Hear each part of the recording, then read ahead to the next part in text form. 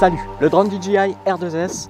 On va juste faire un démarrage, donc un décollage. C'est la même procédure pour la majorité des drones DJI. On y va. Avant le décollage, j'installe des extensions de train d'atterrissage. C'est bien pratique pour pouvoir faire atterrir son drone sur de l'herbe ou sur un chemin gravillonné. Les hélices ont moins de risques d'être en contact avec l'herbe ou les gravillons qui peuvent se trouver sur le sol. Alors un conseil, retirez la coque de protection de la nacelle seulement quand vous êtes prêt à décoller. Les filtres ND sont nécessaires. Pour la météo ensoleillée, moi j'utilise des filtres ND16. Parfois ça peut être du 32 aussi. Ces filtres ne sont disponibles que pour le pack Flymore. Pour mettre en place un filtre ND, tournez dans le sens horaire. Voilà, le drone est prêt à voler, mais attention, il y a des zones interdites au drone. Donc avant de voler, consultez Géoportail. Je tire sur le petit support intégré à la manette et il faut savoir aussi que vous avez un câble qui est intégré à cette manette, soit pour Apple, soit pour Android.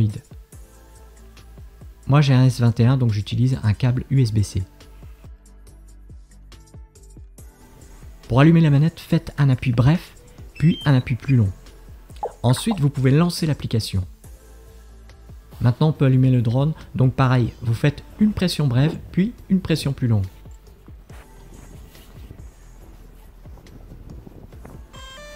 Pour décoller, vous touchez le petit symbole avec une flèche située à gauche de votre écran et ensuite vous gardez votre doigt sur le cercle où il y a inscrit décollage jusqu'à ce qu'il soit totalement vert.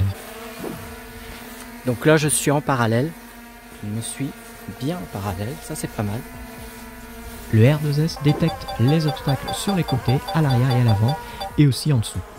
Tant que je ne touche pas les commandes, le drone restera à la même position. Petit décollage sur le gazon et comme vous le voyez, je suis encore limite au niveau de la hauteur. Les hélices viennent en contact avec l'herbe. Le DJI R2S peut filmer en 5K et il filme aussi en 4K. Il a un capteur 1 pouce. Vous avez une vidéo en 10 bits, donc plus de nuances de couleurs. C'est vraiment le bon choix si vous voulez une qualité d'image exceptionnelle. Voilà, la procédure est vraiment simple. Je vous ai sélectionné deux drones. Le premier, le Mini 3 qui a un excellent rapport qualité-prix. Le deuxième, celui-ci, le R2S, pour sa qualité vidéo excellente par rapport à son prix. Je vous remercie d'avoir suivi cette vidéo. Ciao